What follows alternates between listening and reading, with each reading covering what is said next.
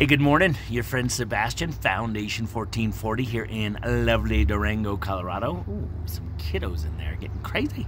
And I love those kiddos, guys. And it's Monday. We're talking about motivation, guys. I know that it is Monday morning, and if you can't see, like behind me, right, it is the sun is just hitting the hills, right, and we're up and we're at it as, as I would say, hashtag get up, get out, get after it, guys. So here's what we know about motivation. Number one is if, if you ask yourself, why is that important? And why is that important? And why in that uh, is that important about why you get your buns out of bed and grind it out on a Monday, right? Chasing your dreams. If you keep asking that those questions, well, why is that important? You get to what we call your big why and what it is that drives you to do what you do and to work so hard and and to do this for other people and put other people first, right?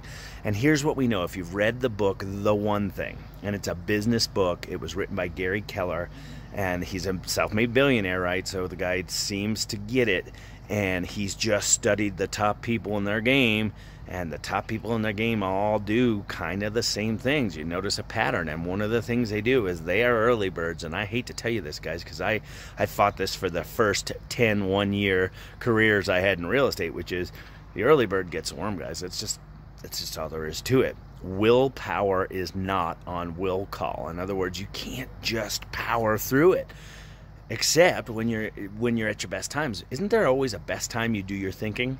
Isn't there always a time where you get more done? It's generally before anybody else messes with your day right?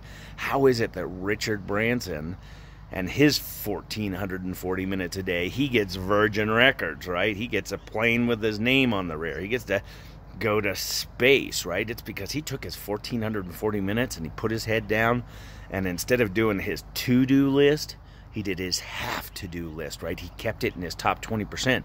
You got 10 things you got to do today. What are the two most important things that are have to do's, right? That you will not go home.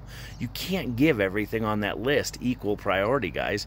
What are the top two things that are going to push you forward? How are you going to take your 1414 40 minutes today and crush it while everybody else is suffering in mediocrity? So, I don't mean to say that in a bad way. It's just I know that if you're listening to this, you're you're a baller. You've got this. You have big plans and desires and aspirations. It's auspicious what you want to do, and you've got this, right? And if you think you can do it, or you feel like you may be able to do it, well, you just got to go do it, right? Get started right now. Use the five second rule five, four, three, two, one, go, right? And get after it, guys. So it's Monday, Monday morning motivation, Foundation 1440.